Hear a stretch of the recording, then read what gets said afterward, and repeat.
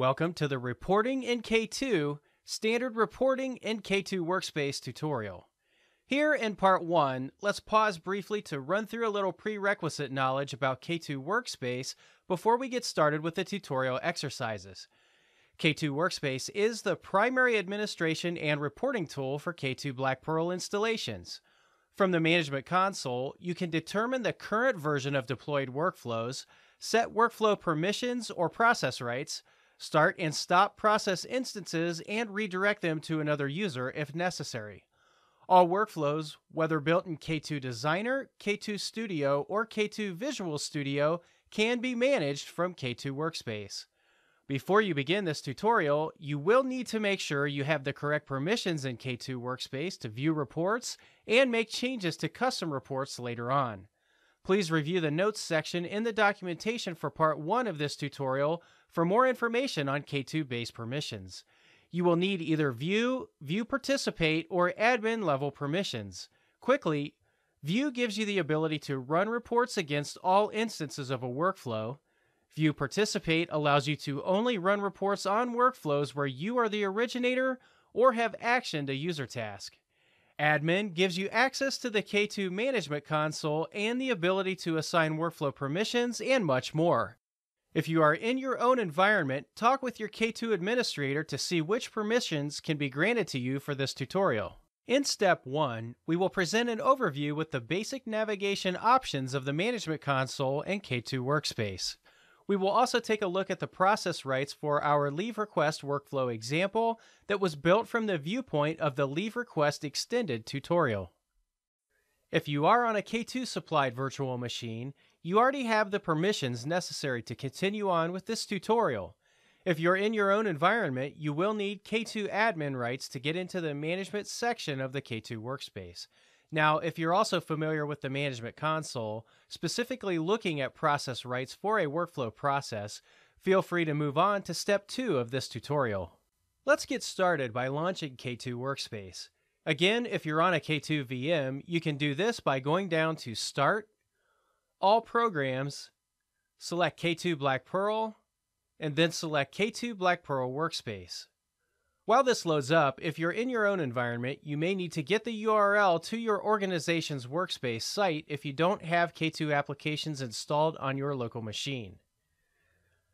Now that the page has loaded, let's review the following sections of the landing page. The Homepage button up here on the left will always bring you back to this page with the K2 work list on it. The menu bar across the top to the right of the Homepage button provides access to various sections within Workspace, such as custom reports, the management console, notification events, security, and user settings. The Reports console menu here on the right will be what we're concerned with later on in this tutorial. These are the five standard reports available to you out of the box for basic reporting against K2 workflows. Finally, over here in the middle, we have the work list for the current user. If there are any process instances waiting to be actioned by the current user, in my case it's the Denallix administrator, they are listed here. You can see that the administrator account has one process instance waiting to be actioned. Let's move on. Hover your mouse over the Management menu button here at the top of the page on the menu bar, and then click Management Console. We'll give this a few seconds to open up. At the top of the K2 management tree over here on the left, your server name may be different than what's shown on my screen. Either way, expand the K2 server tree from here, then expand Workflow Server, Processes, Workflows, and open up the Leave Request workflow. This is the Leave Request workflow that was deployed as part of the Leave Request Extended tutorial. However, if you don't have this workflow deployed in your environment, open up another workflow. Notice the workflow server options for the leave request workflow process. The first five options here are common to all workflows. Let's discuss them briefly. First, process rights give you the ability to assign workflow permissions to a process. These options are the following. Admin level rights provides full control over the process. This should not be confused with admin server rights, where the user has full control in K2 Workspace. Start allows users to start a workflow, but keep in mind that without start or greater permissions, Users are likely to get an error when they submit a form, so they at least need to have this level of access if they are to participate in a given workflow. The view level permission gives users the ability to, at most, view, run, and create reports for this process. And finally, View Participate allows users to view standard reports for workflow instances they started under this particular workflow or where they completed a task under it. Let's talk about the Instances section now. In this section, we get to view running instances of the current process.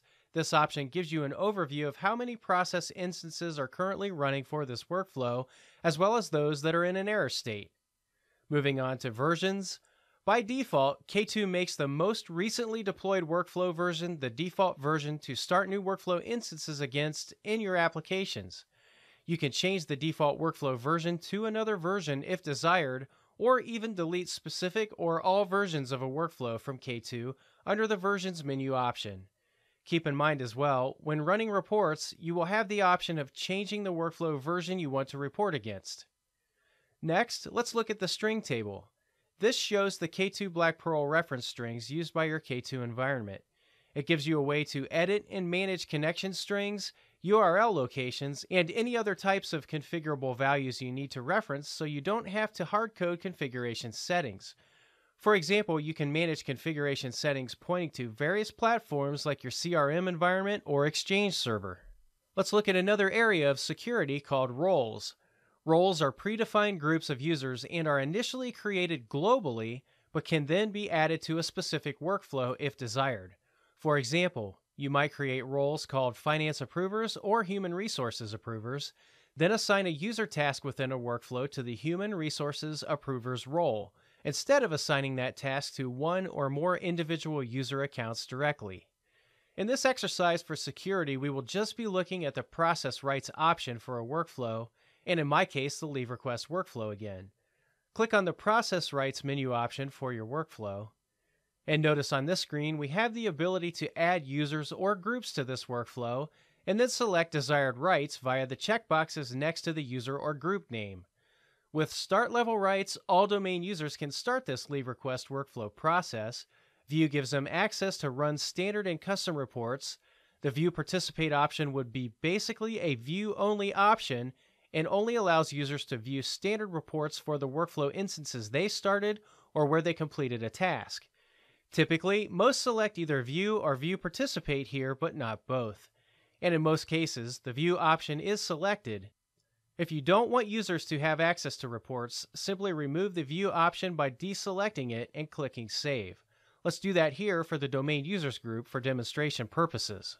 I'll go ahead and click Save now, and that's all we're going to look at. So when you're ready, click back on the Home icon in the upper left to return to the K2 Workspace landing page.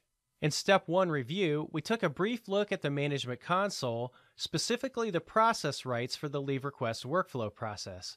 This information is important to know because you will use process rights to grant users the ability to view, run, and create standard and custom reports. If you do not want your users accessing reports, confirm their only process right is the Start option. This will allow them to submit a form that in turn starts a workflow, but not access the reports for that workflow. In the next several steps, we will learn more about three of the standard K2 reports and how you might use them for analyzing and monitoring your processes. The first report we are going to work with here in step 2 is the Activity Statistics Report. Starting from the K2 Workspace landing page, select the Activity Statistics Report link in the Reports pane over here on the left side. Now, this may take a minute or so for the report to open if it's the first time you've opened it today. Feel free to pause the video here if necessary. On the first page of this report, when it opens up, you will find a list of all processes that have been deployed.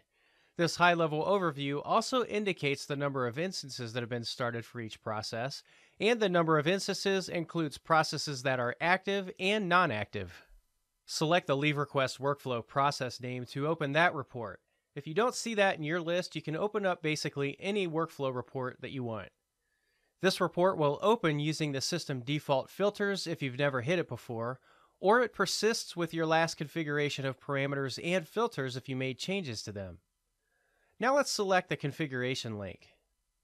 For our first report, we want to see which tasks take the longest to complete compared to the other tasks in the process. When your report configuration screen opens up, it will land on the parameters page. This is where you can narrow down the results returned by specifying parameters, filters, and deleted process settings for the process instance you're reporting on. For more detail on what each parameter does here, please review the Learning Guide documentation for Step 2 of this tutorial. However, I will quickly touch on each one here. The process version parameter allows you to select which deployed process version you want the report to display information about. When viewing this information, you can also use the date range parameter to narrow down the reporting time frames such as this week, last 90 days, or even a specific date range. Under Options, enabling Exclude Server Events allows you to remove server events like send email and data update events in your workflow from the report view. You may want to exclude these types of events if you have too many events in a workflow that will take up a lot of space on the generated report. Now, down here for status, you can select a process instance status such as active, completed, expired, or waiting. With value type, you can decide if you'd like to see the chart show average duration or number of instances. Average duration will calculate the average time a task takes over your date range, and the number of instances displays the total number of process instances for the selected status. You also get the option to select chart types like area, bar, column, or pie charts, and they can be in 2D or 3 dimensional format. Moving over to the Filter tab, in this tab, you can further define your reporting results by applying filters to the activity name, duration, full name, or instance values for workflow instances. Use this if you want to review active process instances that have been running for longer than one day, for example. Finally, on the Settings tab for this particular report, you can select whether you want to include deleted or removed process instances in your report. The default here is set to true, but if you only want to show report data for active and completed instances, you should set this value to false. Let's go back to the Parameters tab now and set the options as follows. For process version, you can select the version that you want to report on. For the leave request extended process, you may only have one choice. In my case, I'll leave it set to version 4, which is the highest version I have, or the latest version in other words. For my date range, I'm going to select specific date range and then make sure the from value is at least two to three weeks back. Actually, I'll go a month or so back. You can do this if you need to go back farther. This will be dependent on how long ago you built the leave request extended application and submitted test processes. Adjust the dates so that they encompass the time frame around building and testing your application. Then I'll just leave the two dates set to the day of this video's recording. Under Options, let's make sure Exclude Server Events is unchecked. And then for status, I'm going to select Completed. For value type, set it to Average Duration. And then for chart type, select Column, and then I'll just leave 3D unchecked. We won't need to specify any filters or deleted process settings at this point, so you can click OK when you're ready. While your chart will not look exactly like mine here, you should see a representation of a chart with the user task called Manager Approval, the Rework Request task, and possibly some other system tasks. As you can see, the system tasks are processed very quickly, but notice the average time it takes for the Manager Approval task. Remember, I'm using a test application here, but for example, if you had an average of a little more than 10 minutes for the management approval to be completed, you'd be pretty good in your environment. However, in this example, we are looking at approximately five days for the manager approval task, which may be a bit too long for some. To address this problem, you might look at the complexity of the task and see if the communication around the task could be made clearer. Another option to consider is to add an escalation to the task. Escalations can be as simple as sending an email reminder of the unfinished task to the recipient, or they can be more complex where the task is automatically redirected to another user. Let's take a look at another configuration of this report. If you'd like to go back and see if there are any activity instances still active after two days, we can do this by going back to the report configuration and change the parameter and filter options. So go back up to the configuration setting, and under parameters, put a check in exclude server events. Then for status, select active. For value type, let's change it to number of instances. And now let's switch over to the Filter tab and click the Add button. Under here, select the duration field name and then select greater than for the compare operator, and then we want two days as the value. To do that, put a 02 for the leftmost double zero group shown here, and then click OK when you're ready. Now, in the chart returned, we see there are at least two instances running longer than two days. Again, your results may not be the same as mine. Also notice here that in this report, we do not see any system tasks. Remember, this is because we selected the option to exclude server events. And that's all we need to do for step two, so let's have a quick review. The Activity Statistics Report is very useful for displaying duration related statistics on individual activities, in other words, events or steps in your workflow. Use this report to show bottlenecks, which tasks are taking longer than others, or which tasks are running longer than desired. You can also use this report to show the number of instances that have been processed in a given time period. In step 3, we will look at one of the most widely used reports, the Process Overview Report, which allows you to view the details of events or steps in a process instance. In the Reports pane over on the left, click on the Process Overview link to open up this report.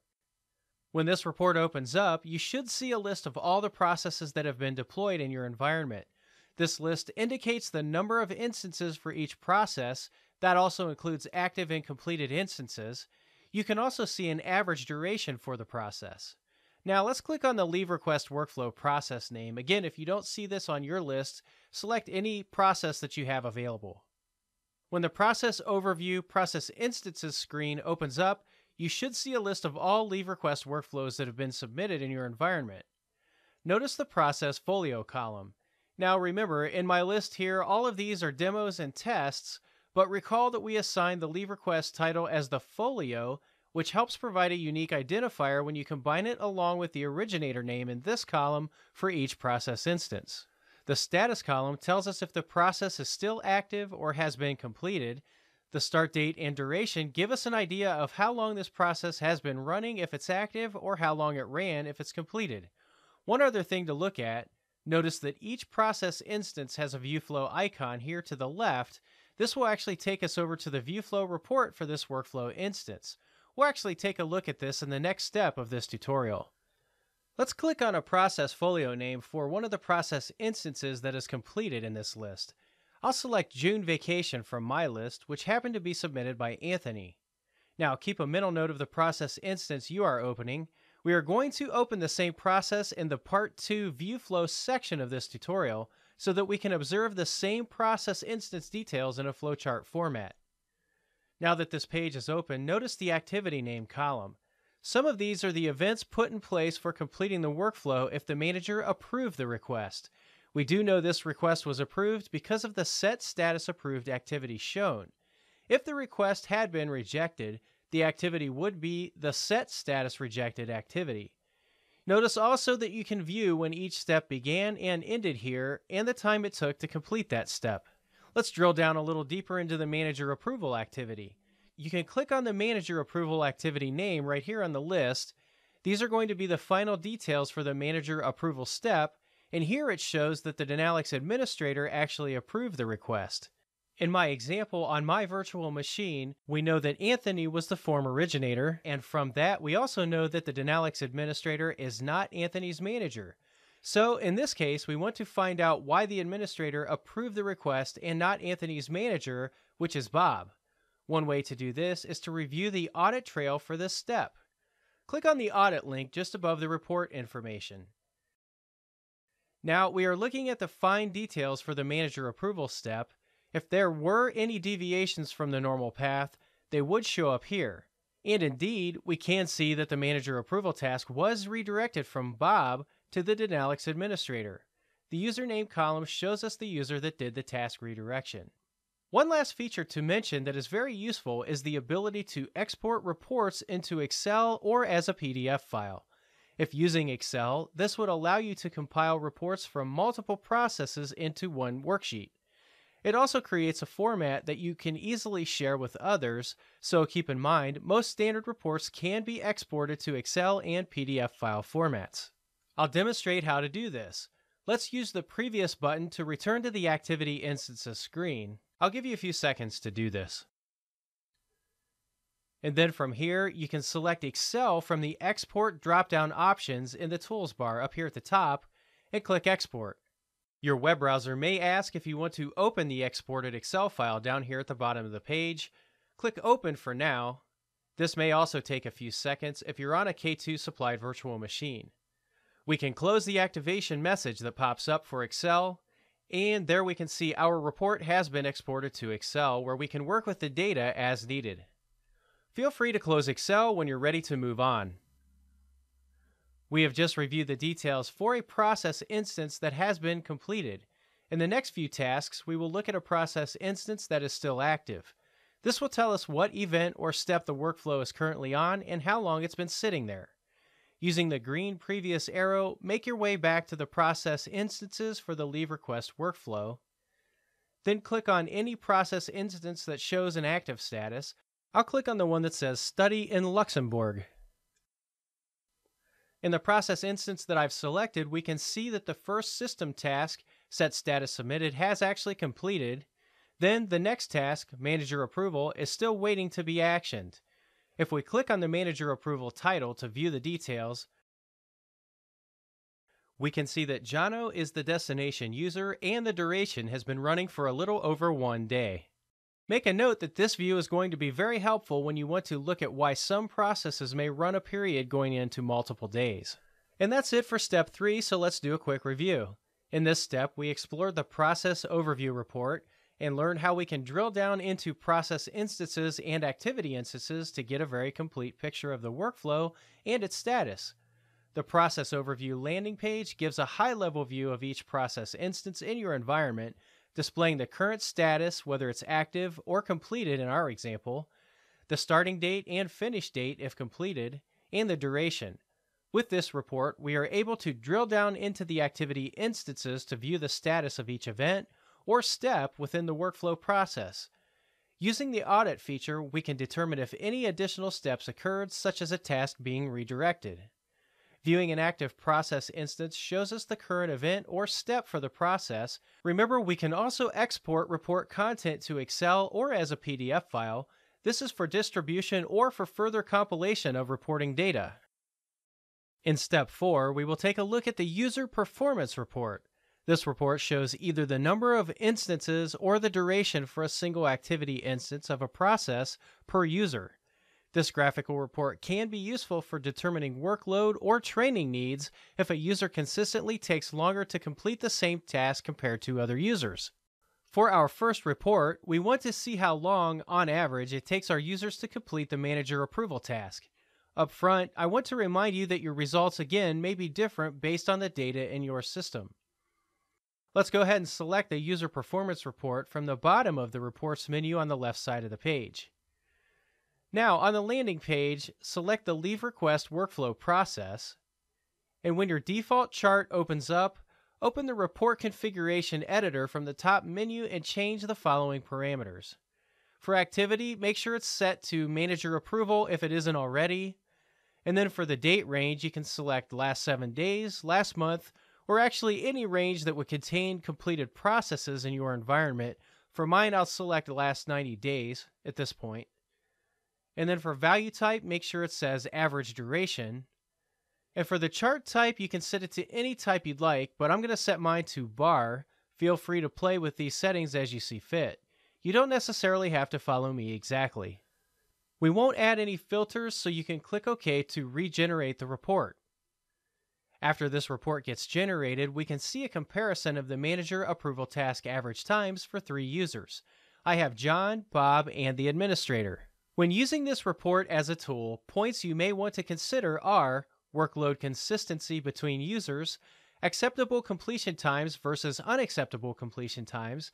Keep in mind to ask yourself if you have a standard to throw this up against for your processes. Now, also consider do we need user training for completing the task if there are bottlenecks? And could we add in escalations, such as reminders or redirection for the task, if it's taking way too long? For the next report, we want to see how the workload is spread out among the three users. This report will tell us the number of manager approval tasks each user has completed within the given time frame. Once again, open the report configuration editor at the top, and change the value type to number of instances. And then for this chart, we're going to use a pie chart type, and you can set 3D for the format. Go ahead and click OK to rerun the report. And now we can see the view distribution of manager approval tasks for our three users. Let's consider this chart using a help desk scenario where requests are assigned to a group of your help desk department staff, who in turn take ownership of tasks and complete them. Now, in that scenario, we may want to consider why is one user completing more tasks than the others? Is this a performance issue or a training issue? And do the other users have workloads that are preventing them from taking ownership of tasks? And that'll do it for the user performance report, so keep much of that in mind as you use it.